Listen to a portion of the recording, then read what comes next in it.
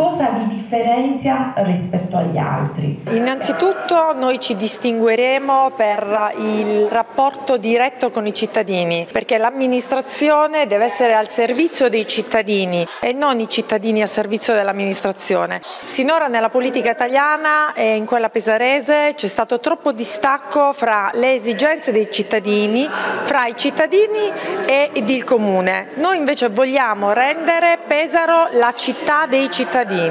Vieni oltre, come ho già detto, e mi piace usare un'espressione, è tanta roba perché questa lista civica per l'appunto è una lista civica aperta ed è la lista civica dei cittadini. E quindi quale espressione migliore che quella nota e comune ai pesaresi, vieni oltre.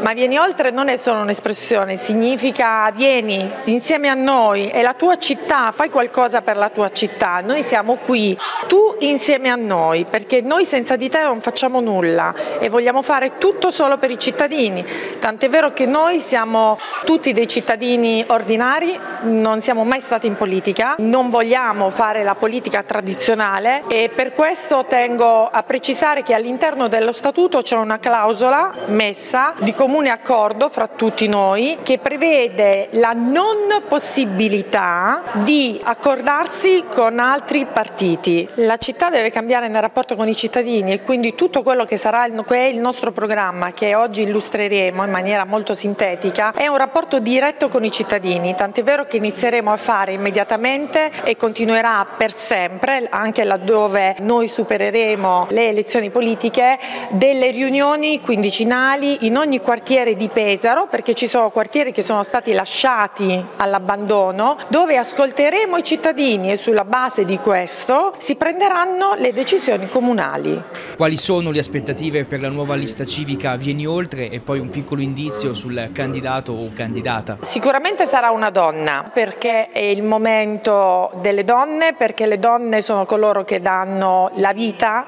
e fanno nascere e quindi noi vogliamo far nascere Pesaro e perché Pesaro non ha mai avuto un candidato donna. Le aspettative vinceremo sicuramente.